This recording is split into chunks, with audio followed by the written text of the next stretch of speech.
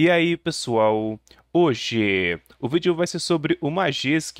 É, Para quem não está muito ligado, a próxima versão do Magisk, a versão acima da 23, não vai trazer mais a possibilidade de estar tá baixando módulos direto do aplicativo. Essas alterações já estão presentes no Magisk Canary e é bem provável que a próxima versão, a versão 24, já não vai trazer mais essa função. Aliás, para quem não está sabendo dessas mudanças, dessas novas alterações, aqui no canal tem um vídeo específico onde eu comento essa situação, porque que o Magisk está sofrendo mudanças. Então, se você não assistiu esse vídeo, recomendo. De qualquer jeito, para estar tá facilitando a vida do usuário, muitos desenvolvedores da comunidade já estão colocando esforços para uh, trazer clientes não oficiais para repositórios do Magisk e até mesmo repositórios alternativos, o que é muito bacana. E nesse vídeo, eu vou estar tá mostrando para vocês como como está conseguindo módulos do Magisk de uma forma alternativa.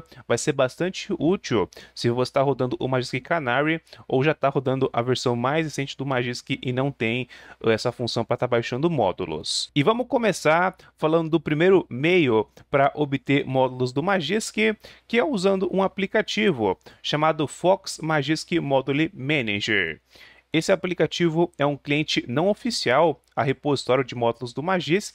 Por padrão, ele vem com dois repositórios pré-configurados. O primeiro é o repositório oficial mesmo, padrão, e tem um repositório alternativo com mais módulos, uh, ou seja, você tem bastante módulo para estar tá baixando. A tela inicial do aplicativo, na parte superior, mostra os módulos que estão instalados no seu aparelho, e logo abaixo é possível baixar e instalar módulos que estão presentes nos repositórios. Para instalar um módulo é só tocar no botão de baixar e está pronto. O aplicativo faz todo o trabalho de baixar e instalar o módulo para você. E caso você quiser ver as informações desse módulo por completo, eh, por extenso, é só tocar no izinho, aquele botão de informações, e você consegue ver as informações por completo do, do, do módulo que você quer instalar. Caso o aplicativo detecte que naquele módulo tem algum link do desenvolvedor, vai aparecer alguns botõezinhos a mais, alguns atalhos para estar tá acessando, por exemplo, o tópico onde aquele módulo foi postado, ou então o link para estar tá fazendo uma colaboração com o desenvolvedor, canal no Telegram, grupo no Telegram, então alguns atalhos rápidos. E esse é o Fox Magic Module Manager, com certeza um aplicativo promissor. O segundo meio é estar tá usando um módulo chamado de Module Manager. Esse módulo vai estar tá adicionando um comando no seu dispositivo chamado de Module Underline Manager e ao executar esse comando você pode gerenciar seus módulos, instalar, baixar novos módulos e tal.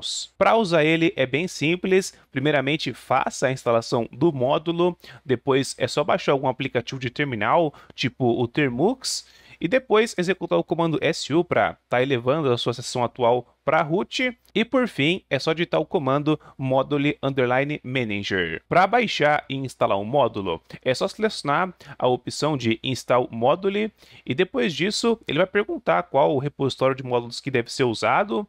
Se você quiser usar o repositório de módulos oficial é só digitar repo e todos os módulos do repositório oficial vão aparecer.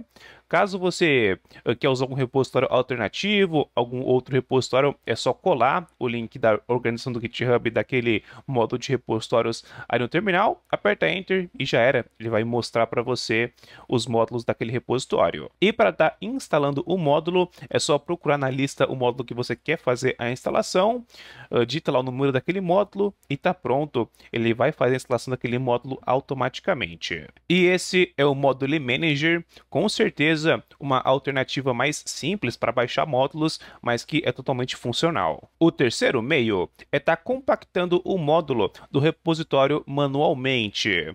O repositório de módulos do Magisk ainda está no GitHub, então você consegue procurar o módulo que você quer e lá você baixa o repositório desse módulo e depois uh, faz algumas coisinhas para estar tá compactando esse módulo num formato instalável no aplicativo do Magisk. Aqui no canal tem um vídeo onde eu mostro esse processo, então vou deixar esse vídeo na descrição para quem tiver interesse. O quarto meio é estar tá procurando, é claro que você pode usar o Google e procurar, existem diversos uh, meios de estar tá procurando, mas eu vou recomendar dois lugares que eu acho interessantes. O primeiro é o XDA, lá tem uma seção específica para o Magisk e tem diversos módulos que podem ser baixados. O segundo é o GitHub. Procura lá por Magisk Module, que deve aparecer um monte de resultado e deve ter algum módulo bacana por lá. O quinto meio vai ser útil para quem usa o Telegram, que é estar tá entrando em canais, em grupos, onde o pessoal posta uh, módulos do Magisk.